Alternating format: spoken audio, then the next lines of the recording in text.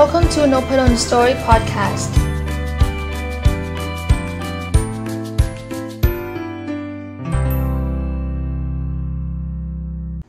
สวัสดีครับ ขอต้อนรับเข้าสู่นพดลสตอรี่พอดแคสต์นะครับ ก็วันนี้จะเอาบทความที่ชื่อว่า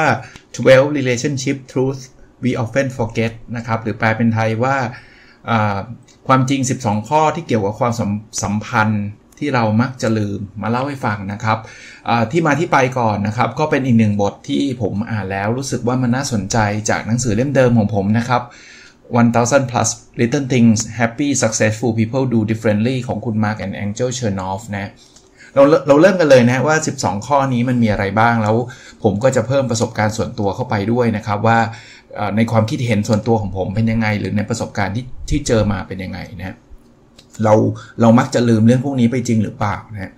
อันแรกเขาบอกว่า all successful relationship require some work เนี่ยหรือแปลเป็นไทยก่อนนะครับเขาบอกว่าความสัมพันธ์ที่มันประสบความสำเร็จเนี่ยมันต้องต้องต้องทำงานอะไรบางอย่างอะพูดง่ายๆว่าเราอยากจะเอาเอาเอาทางด้านธุรกิจก่อนนะ เราอยากจะทำให้ความสำคัญความสัมพันธ์ระหว่างเรากับลูกค้ามันดีเนี่ยนั่งอยู่เฉยๆเนี่ยมันมันมันไม่ได้หรอกนะหรือถ้าเราพูดถึงความสัมพันธ์ระหว่าง แฟนอะระหว่างสามีภรรยา เราอยากบอกโอ้คู่นั้นเขาดีจังเลย คู่นี้เขาดีจังเลย แต่ว่าเราไม่ทำอะไรอย่างเงี้ยแล้วเราก็หวังว่าความสัมพันธ์เราจะเป็นแบบ successful อะจะประสบความสำเร็จแบบคู่อื่น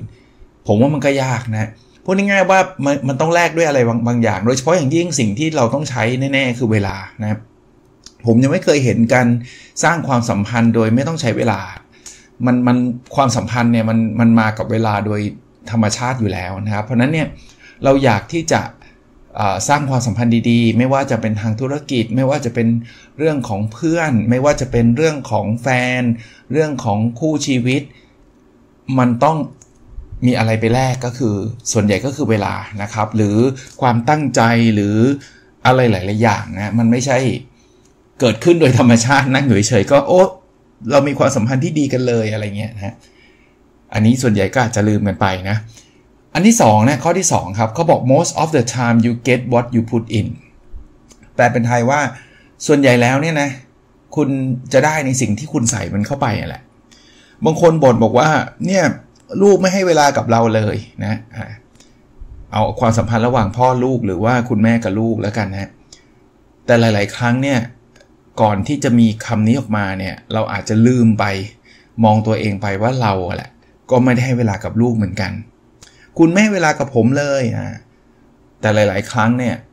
เราเราเองนั่นแหละที่อาจจะไม่ได้ให้เวลากับเขาก่อน เพราะฉะนั้นเนี่ยเขาก็บอกว่า most of the time นะ บางคนบอกไม่จริงเนี่ยผมให้เวลาคุณตลอดเวลาแต่คุณเป็นคนเดียวที่ไม่ให้เวลากับผม ก็อาจจะไม่ได้ทุกทุกกรณีไง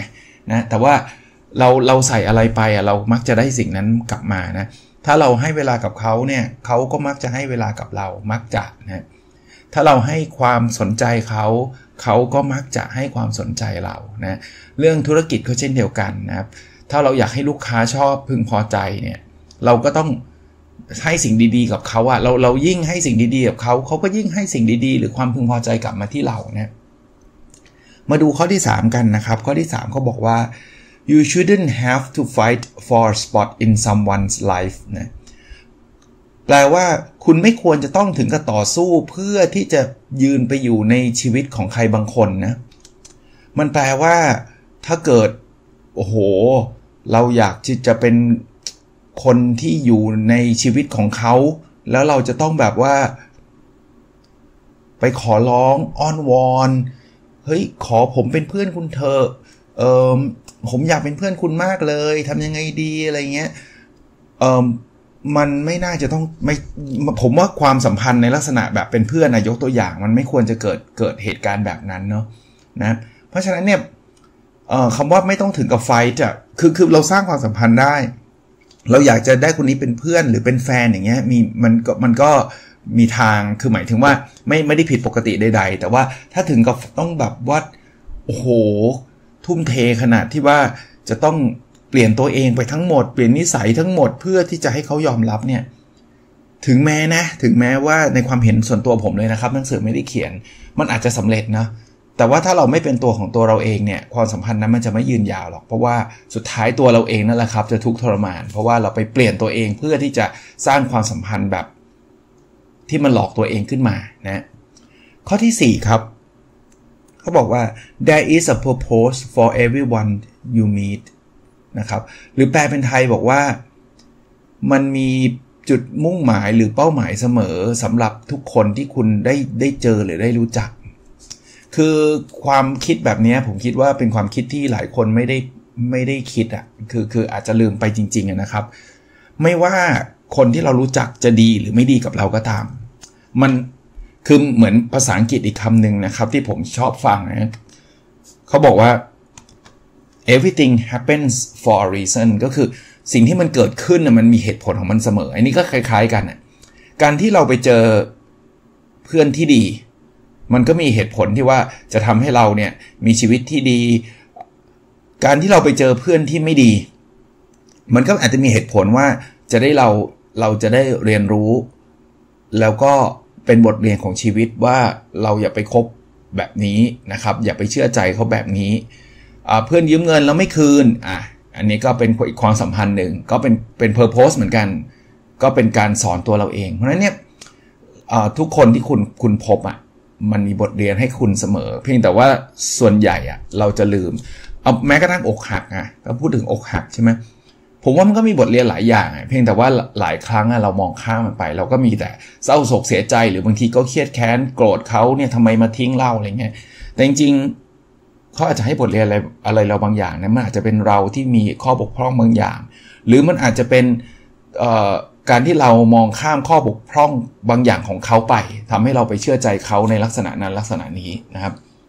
ข้อที่5นะ we all change and that's okay แปลว่าทุกคนเปลี่ยนนะครับ แล้วอันนั้นก็คือเรื่องปกติด้วย ความสัมพันธ์เนี่ยบางคนเนี่ยไปคาดหวังหรือคาดหมายว่า คุณไม่เห็นเหมือนเดิมเลย มันไม่มีใครเหมือนเดิมร้อยเปอร์เซ็นต์นะครับ เพราะฉะนั้นเนี่ยบางอย่างเราเคยชอบ แต่ว่าวันหนึ่งเราอาจจะชอบน้อยลงนะครับชอบไม่ได้มากเท่าเดิมนะกิจกรรมบางอย่างเราเคยทำแล้วสนุก แต่พอเราโตขึ้นอายุมากขึ้นเนี่ยเเราอาจจะไม่ได้สนุกเหมือนเดิมนะอย่างนี้แปลว่าอะไรแปลว่าเฮ้ยอย่างนี้ถ้าพูดแบบนี้แปลว่า สมมุติว่าเป็นแฟนกันเนี่ยแปลว่าวันนี้เราชอบเธอต่อไปเราก็ไม่ชอบอย่างนี้โอเคเหรอผมผมมักจะ ไม่ใช่มักจะนะ ผมให้ความเห็นแบบนี้ ในมุมที่ผมพูดแบบนี้เนี่ย ผมหมายถึงว่าคนเรามันเปลี่ยนแปลงได้ตลอดเวลา แต่ว่าคอคอนเซปต์อะคือเรื่องหลักๆของชีวิตอะเรามักจะไม่เปลี่ยนหรอกครับ คนที่มีนิสัยหลักๆ เป็นแบบไหนมักจะเป็นแบบนั้นนะครับ แต่ถ้าพูดถึงกิจกรรมพูดถึงเรื่องต่างๆ นานา ผมเคยแบบ โอ้โห ต้องเรียกว่า crazy มากบ้ามากเกี่ยวกับฟุตบอลเนี่ย ตอนนี้ก็ยังชอบอยู่นะ แต่ถ้าเทียบกับตอนที่ผมมัธยมเนี่ยคนละเลเวลคนละเลเวลทั้งทั้งที่ตอนนี้เนี่ยอาจจะเข้าถึงได้ง่ายกว่าด้วยซ้ำหรือว่าเป็นเพราะว่ามันเข้าถึงได้ง่าย ก็ไม่รู้นะ มีฟุตบอลให้ดูเยอะแยะจนเราไม่ดูอะ่ะ แต่ก่อนเนี่ยโหปีหนึ่งมีสักแมตช์สองแมตช์ถ่ายทอดสดนะ FA คัพนัดชิงอะไรเงี้ยผมกำลังยกตัวอย่างว่าผมก็เปลี่ยนนะทุกอย่างก็เปลี่ยนก่อนที่จะทำพอดแคสต์กับตอนนี้ที่ทำพอดแคสต์ผมก็ว่าตัวผมก็มีการมีอะไรหลายอย่างเปลี่ยนไปนะแต่คอ concept คอ concept คือแนวคิดหลักของเราเนี่ยมักจะไม่เปลี่ยนหรอกครับเพราะฉะนั้นเมื่อกี้ที่ผมยกตัวอย่างว่าความรักก็เช่นเดียวกันนะครับ คือถ้าถ้าหลักๆแล้วเราเข้าได้เข้ากันไม่ได้อย่างนี้เราเราไปด้วยกันไม่ได้แน่นอนนะแต่ถ้าเกิดหลักๆ เราเข้ากันได้แปลว่านิสัยหลักๆ เราเข้ากันได้แล้วเขาจะจะมีเปลี่ยนอย่างที่ผมบอกเปลี่ยนนิสัยรองเปลี่ยนเรื่องเล็กๆน้อยๆเนี่ยแม้กระทั่งรูปลักษณ์ใช่ไหมเราเราก็แก่ตัวลงทุกวันเงี้ย ผมว่ามันคือการเปลี่ยนแปลงที่เราจะยอมรับได้นะครับมาข้อที่ 6 ครับ you are in control of your own happiness แปลเป็นไทยว่าคุณนะ่ะสามารถควบคุมความสุขของคุณได้ คุณเองได้นะ หรือแปลอีกชั้นหนึ่งก็แปลว่าคุณอย่าไปฝากความสุขของคุณนะ่ะให้กับคนอื่นครับ บางคนเนี่ยบอกไม่ได้ ถ้าเธอไม่ทำอย่างนั้น ฉันจะไม่มีความสุข ถ้าเธอไม่ทำอย่างนี้ ฉันจะไม่มีความสุข ถ้าเธอไม่คิดแบบนั้น ฉันจะไม่มีความสุข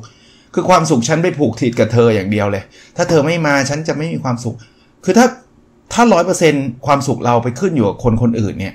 ผมว่าความสัมพันธ์แบบนั้นเป็นความสัมพันธ์ที่อาจจะเหนื่อยเนาะแล้วตัวเราเองก็คงคงทนทุกทรมานอะ่ะเพราะว่าคนอื่นเป็นคนที่เราไม่สามารถควบคุมได้ บอกให้จำไว้อย่างหนึ่งว่าถ้าเกิดเราจะมีความสัมพันธ์นะครับ เราแต่ละคนเนี่ยที่เป็นความสัมพันธ์กันเนี่ยเราสามารถควบคุมความสุขของเราเองได้ ผมไม่ได้บอกว่าร้อยเปอร์เซ็นต์แน่นอนสิ่งที่คู่เราหรือสิ่งที่แฟนเราหรือสิ่งที่เพื่อนเราทำอะส่งผลกระทบต่ออารมณ์และความรู้สึกเราแน่นอน แต่สุดท้ายอะมันก็เป็นตัวเราที่จะตัดสินครับว่า เราจะปล่อยให้มันส่งผลลบนานแค่ไหน เราจะปล่อยให้มัน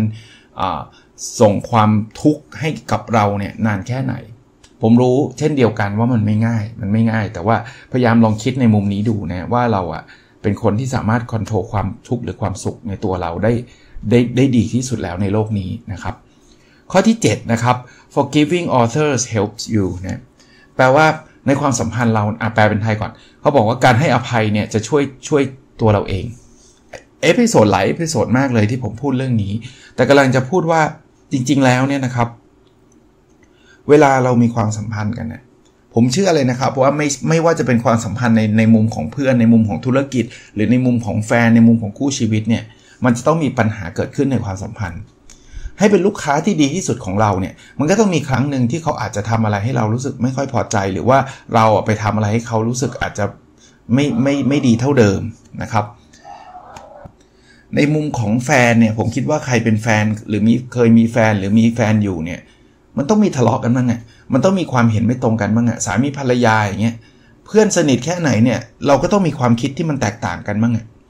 คราวนี้เนี่ยความสัมพันธ์ที่มันอยู่ได้ยั่งยืนความสัมพันธ์ที่มันแบบอยู่ได้แป๊บเดียวแล้วมันสะบั้นออกไปขาดออกไปเนี่ยเพราะมันมีคำว่า forgive มาเป็นตัวแยกนี่แหละครับ forgive แปลว่าการให้อภัย ถ้าคู่เอาเป็นคู่กันแล้วกันนะ คู่ชีวิตเราเนี่ย ถ้าเราไม่เคยให้อภัยซึ่งกันและกันเลย ผมผมรับประกันได้ว่าเราอยู่กันไม่ยั่งยืนแน่นอน เราต้องแบบว่าเลิกกันแน่ ๆ แต่คู่ลองไปถามคนที่อายุเยอะๆ ที่เขาแต่งงานมา 40-50 ปีนะครับ ถามว่าเขาเป็นคนที่ไม่ทะเลาะกันหรือเปล่าบอกไม่หรอกเขาทะเลาะกัน แต่ต่างคนต่างให้อภัยกันนะครับ เพราะฉะนั้น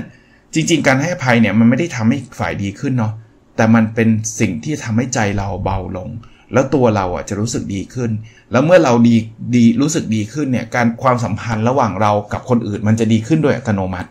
นะข้อที่ 8 ครับ you can change people they can only change themselves คุณไม่สามารถไปบังคับเปลี่ยนแปลงใครได้เลย คนเดียวที่จะเปลี่ยนได้ก็คือตัวเขาเองเท่านั้นแหละ ผมว่าอันเนี้ยเราต้องจำไว้นะครับ ถ้าเราอยากจะมีความสัมพันธ์ที่ดี ผมไม่ได้บอกว่างั้นปล่อยให้เขาอยากทำอะไรก็ทำทำผิดทำถูกฉันไม่แนะนำไม่ใช่นะครับ เราให้คำแนะนำได้เราบอกได้อะอันนี้พอพูดถึงตัวอย่างนี้ผมนึกถึงเรื่องคุณพ่อคุณแม่กับลูกๆเนี่ยคือลูกอะตอนเด็กๆอะเราอาจจะดูรู้สึกว่าเราบอกให้ซ้ายเขาก็ซ้าย เราบอกให้ขวาเขาก็ขวา ถ้าใครมีลูกเริ่มจะจะเป็นวัยรุ่น เราจะเริ่มเห็นว่ามันไม่ได้เป็นแบบนั้น แล้วถ้าเรามีลูกเป็นผู้ใหญ่แล้วอะเอ่อยากมากนะครับ ที่เราจะไปเปลี่ยนเขาคือจริง ๆ ไม่ใช่เฉพาะลูกนะ ใครก็ตามเนี่ยแต่ผมยกตัวอย่างลูก เราให้คำแนะนำลูกได้ไหมได้ครับ แต่ให้คำแนะนำแล้วคนที่จะเปลี่ยนคนที่จะทำคือตัวเขาครับผมถึงบอกว่าในความสัมพันธ์ถ้าเราอยากจะแบบไปบังคับเขาเนี่ย เราอาจจะเปลี่ยนการกระทำบางอย่างได้นะ เธอต้องทำแบบนี้ลูกต้องทำแบบนั้น ไม่งั้นพ่อ ไม่ให้เงิน ไม่งั้นพ่อไม่รักอะไรเงี้ยเราก็จะเต็มไปด้วยการคำขู่และหลายครั้งเขาอาจจะทำนะแต่ทำด้วยความไม่เต็มใจ เพราะนั้นเนี่ยมันไม่ได้เปลี่ยนที่ที่ที่ตัวตนน่ะถ้าเราไม่ได้อยู่ตรงนั้นเขาก็ทำอีกแบบหนึ่งอย่างเงี้ยมันก็ไม่ใช่ความสัมพันธ์ที่มันยั่งยืนแล้วดีนะครับ ข้อ 9 ครับ heated argument are a waste of time แปลว่าการโต้เถียงที่มันแบบรุนแรงนะ มันเป็นการเสียเวลาอย่างยิ่ง ผมเป็นคนหนึ่งนะ อันนี้ส่วนตัวเลยนะครับ ส่วนบุคคลเลยอะที่ไม่ชอบการโต้เถียงกับใครนะถามว่าผมเป็นคนที่แบบว่าเพอร์เฟกไม่เคยโต้เถียงใครไหมไม่นะครับ ผมมีผมมี แต่ว่าถ้าใครเป็นเพื่อนร่วมงานผม หรือว่าใครเป็นคนที่รู้จักผมจะพบว่า น้อยมากอะที่ท่านจะเห็นผมโกรธแล้วก็แบบทะเลาะเบาแหวงแต่ไม่ใช่ว่าผม perfect ผมยอมรับเลยแล้วแล้วทุกครั้งนะครับ ต้องเกือบต้องเรียกได้ว่าเกือบทุกครั้งเลยอะที่บางทีเราหลุดออกไปอะบางทีมีมุมแบบบางมุมที่แบบ โอ้บางทีเขียนอีเมลไปแล้ว แล้วแบบดูขัดแย้งกันเนี่ย ผมไม่ happy นะแล้วสุดท้ายผมมานั่งคิดว่าอืมไม่น่าเขียนไปเลย เรานี่ใจร้อนไปหน่อย เขียนไป เขียนไปโต้แย้งเขาในมุมนั้นก็ไม่ควรอะไรเงี้ยจริง ๆ ก็ปล่อยผ่านไปก็ได้ในบางเรื่องนะครับ แต่นี่ถ้าพูดถึงคิดเตอร์อากูเมนต์แบบว่าทะเลาะกันแบบรุนแรงเนี่ยผมว่าในหนังสือเขาก็บอกว่ามันมันเป็นการเสียเวลานะ แล้วการทะเลาะรุนแรงแบบนั้นเนี่ยมันคืออารมณ์ล้วนๆละ เหตุผลแทบจะไม่มีละนะโอเค ข้อที่ 10 ครับ you are better off without some people แปลว่าบางครั้งเราจะดีขึ้นนะ ถ้าไม่มีใครบางคนเนี่ย บางทีเนี่ยอพอพูดถึงมุมนี้นะผมนึกถึงมุมธุรกิจ ผมเอาอาจจะเอาตัวอย่างที่มันหลากหลายนะครับ ความสัมพันธ์อย่างที่ผมบอกไม่จำเป็นต้องเป็นแฟนเท่านั้น ไม่จำเป็นต้องเป็นเพื่อนเท่านั้น หรือพ่อแม่ลูกเท่านั้น อาจจะเป็นเรื่องธุรกิจก็ได้ เชื่อไหมฮะว่าในหลายธุรกิจเลยนะครับ การที่เราเสียลูกค้าบางกลุ่มหรือบางรายไปเนี่ยทำให้เรากำไรเพิ่มขึ้น บางทีเนี่ยเราไปมุ่งหวังที่จะ satisfy คนทั้งหมด คือหมายความว่าเราจะไปมุ่งหวังให้ทุกคนเนี่ยมีความสุขเนี่ยกับกลายเป็นว่า เราใช้เงินเยอะเกินไป เราใช้เวลาเยอะเกินไปกับกลุ่มคนบางกลุ่ม ซึ่งเราไม่ควรใช้เวลาหรือใช้เงินกับกลุ่มนั้นเลย ลูกค้าที่บ่นมากที่สุด อาจจะเป็นลูกค้าที่ซื้อเราน้อยที่สุดครับ แต่เรากลับใช้เวลากับเขาเยอะ บางทีปล่อยเขาไปเนี่ยมัน win-win นะเขาก็จะได้ไปเจอ product ที่เขาชอบ ซึ่งมันไม่ใช่ของเรา ถ้าถ้าเป็นของเราเขาคงไม่บ่นซะขนาดนี้ เราก็จะได้ไปโฟกัสกับคนที่เขารัก product เรา ไม่ต้องมาเสียเวลาเสียอารมณ์กับกับคนกลุ่มนั้น คราวนี้ในเรื่องความสัมพันธ์อื่นๆ ก็เช่นเดียวกันนะ เพื่อนบางคนเนี่ย เอ้ย แกถ้าทำงี้ฉันเลิกคบบางทีการเลิกคบที่เขาเลิกคบเราเนี่ยนะ มันอาจจะดีสำหรับเราก็ได้นะ เพราะว่าเราอาจจะเหนื่อยกับเขามามากแล้วก็ก็ก็ก็ก็เป็นไปได้เช่นเดียวกันนะครับ ข้อที่ 11 นะครับ small gestures of kindness go a long way คือการกระทำเล็กๆ น้อยๆ บางครั้งเนี่ยนะส่งผลมหาศาลครับ ผมว่าไม่ต้องอะไรมากนะความสัมพันธ์ที่ดีเนี่ยเริ่มต้นจากรอยยิ้ม การที่เรายิ้มเราทักทายคนที่เราอาจจะยังไม่รู้จักเลยเนี่ยก็เป็นการสร้างความสัมพันธ์ โดยที่เราไม่ได้คาดหวังหรือคาดหมายใด ๆเลยนะครับนะผมว่าไม่ได้เสียหายอะไรครับ คนส่วนใหญ่เนี่ยถ้าเรายิ้มให้เขามักจะยิ้มตอบ ถ้าเราทักทายสวัสดีเขามักจะสวัสดีตอบ มันคงมีแหละครับที่ยิ้มให้แล้วฉันไม่อยากยิ้มไม่ฉันฉันเกลียดเธออะไรเงี้ยก็ก็ปล่อยเขาไปก็ไม่ได้มีอะไร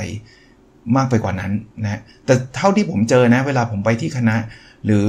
เวลาที่ผมอยู่กับเดินทางไปอะไรอย่างเงี้ยแล้วบางทีเจอคนที่ไม่รู้จักแล้วเราแค่พยักหน้าให้ยิ้มให้เนี่ย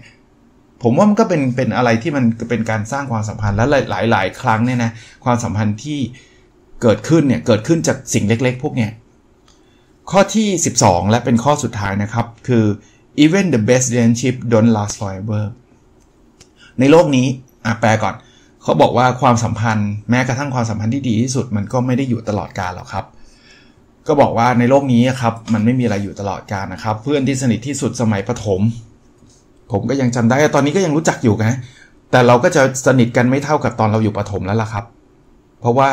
ต่างคนก็ต่างมีชีวิตของตัวเองนะเพื่อนที่สนิทสมัยมัธยม ผมก็มีฮะแต่ตอนเนี้ยมันก็ไม่ได้สนิทแบบนั้น เราก็ไม่ได้คุยกันทุกวันกลับบ้านด้วยกันทุกวันแบบนั้น เพื่อนที่สนิทสมัยมหาวิทยาลัย ก็เช่นเดียวกัน สมัยทำงานที่แรก ทุกอย่างอะ่ะมันมีการเปลี่ยนแปลงนะครับ เพราะฉะนั้นก็ก็ต้องยอมรับการเปลี่ยนแปลงนั้นนะครับ โอเค 12 ข้อสรุปไว้อีกทีนะก็บอกว่า 12 ความจริงในความสัมพันธ์ที่เรามักจะลืมไปนะครับ ข้อแรกก็คือ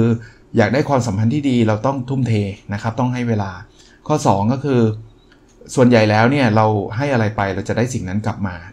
ข้อ 3 ก็คือเรา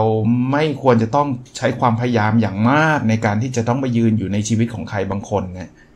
ข้อที่ 4 ก็คือจริง ๆ แล้วทุกคนที่เราพบเนี่ยมันมันสร้างบทเรียนหรือมันมีความหมายอย่างใดอย่างหนึ่งเสมอนะข้อที่ 5 ก็คือทุกคนเปลี่ยนนะ แล้วนั่นก็คือสิ่งที่เป็นปกติด้วย ข้อที่ 6 นะครับ เราสามารถควบคุมความสุขของเราเองได้ ข้อที่ 7 การให้อภัยจะช่วยเหลือเรานะข้อที่8นะครับเราเปลี่ยนคนอื่นไม่ได้ เขาต้องเปลี่ยนตัวเขาเอง ข้อที่ 9 นะครับ การทะเลาะเบาแหวงการโต้เถียงอย่างรุนแรงเป็นสิ่งที่เสียเวลา ข้อที่ 10 บางครั้งบางทีเนี่ยการที่เรา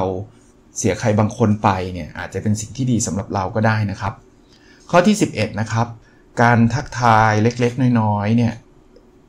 มีน้ำจบน้ำน้ำใจให้กันเนี่ยอาจจะส่งผลอย่างมากกับความสัมพันธ์และข้อที่ 12 นะครับ บางทีความสัมพันธ์แม้กระทั่งดีที่สุดมันก็ไม่ได้อยู่กับเราตลอดไปนะครับ ก็เป็นอีกหนึ่งบทนะครับที่อยากเอามาฝากนะก็หวังว่าจะเป็น วันที่ดีสำหรับท่านไม่ว่าท่านจะฟัง podcast episode นี้ในวันไหนก็ตามนะครับ แล้วเราพบกันใน episode ถัดไปนะครับ สวัสดีครับ